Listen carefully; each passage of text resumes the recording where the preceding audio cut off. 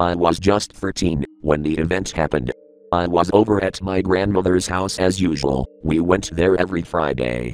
But this visit was extra special, it was my birthday. Me and my family always went to my grandma's house on my birthday. When we got there, she had strung colorful papers all throughout her porch. Luckily, none of my friends lived on that side of town. I walked up the stair and my grandma greeted me with a hug. Happy birthday, my sugar pop. She said in a cheerful, melodramatic tone of voice people of her age tend to have. She stopped hugging me and my dad and mother followed us into the her house. It was worse on the inside, my grandmother outdone herself this year. She had removed all of her tacky knickknacks from the shelves and replaced them with pictures of creepy birthday animals saying random things. She had put up a series of banners and a whole bunch of balloons on the walls. I noticed there were a couple of presents laying on the couch. I sighed in depression. I haven't been feeling really happy this past year. Not since my grandpa died. After his death, I felt like my whole being was torn and burned from existence. I stopped hanging around with my friends and my family members altogether. Almost every night, I would cry myself to sleep, thinking about my grandpa. After my grandma had brought out a circular cake, that was when I noticed something strange. The dinosaurs that the cake was decorated with seemed to be dull in color, and they seemed to be sad. Weird. My father lit the candles on the cake with his silver lighter that he always carried around with him. I was sitting on the couch when they brought the cake in front of me. They started singing happy birthday. When I blew out the 13 candles, a horrible stench hit me like a brick wall. The cake smelled like a rotting animal corpse that has been dunked in crap and left in the sun. I reacted and smacked the cake out my grandma's hand. It flew and splattered on the wall beside me. What is the matter with you? My mom yelled. I responded. What's with the cake?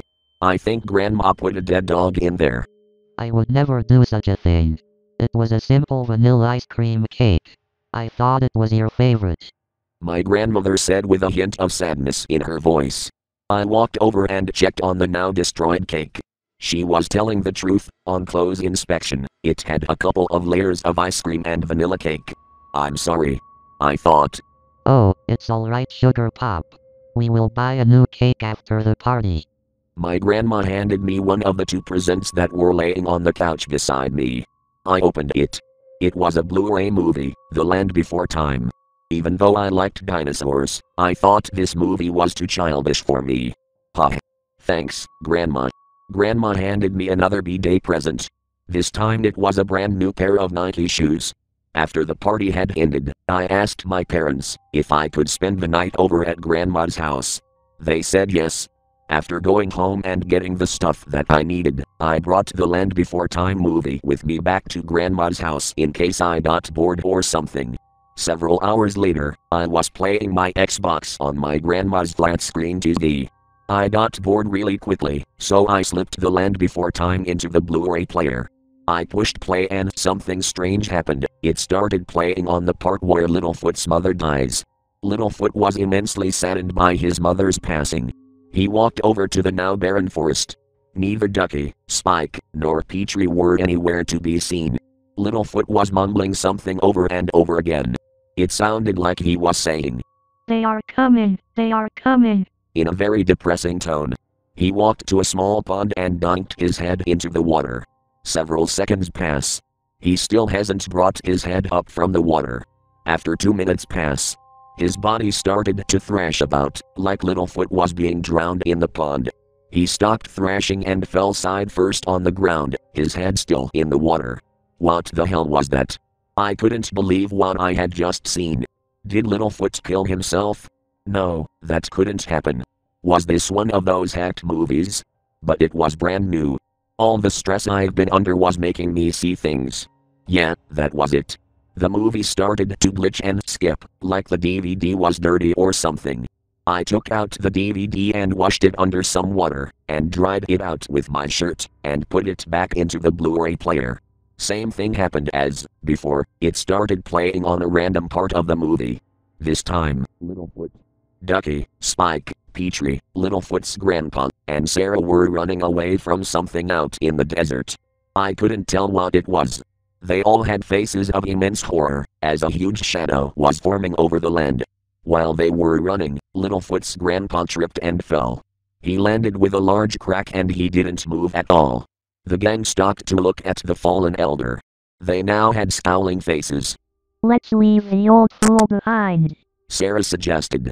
He's just dead weight. Everyone nodded with agreement, which surprised me. Everyone knew that the Land Before Time movies were about friendship and helping others. The gang started running again. After a few minutes, they finally made it to the mountains. Right, as they got into the mountains, a massive meteor struck the exact location where Littlefoot's grandpa had fallen. There was a large explosion. It was so bright that I had to cover my eyes. After a few moments, the blinding lights died down. The land was nothing but burnt bodies and forests. The sun was blocked out.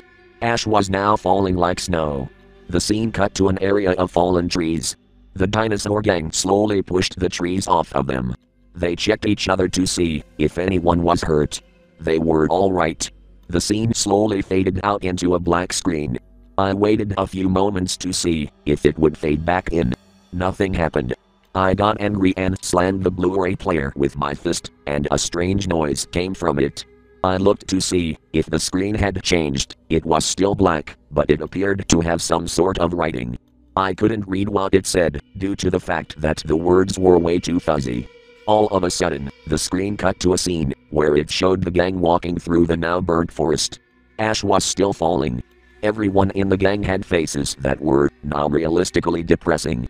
They looked like they could just fall down and give up right there, but they just kept on walking through the ash.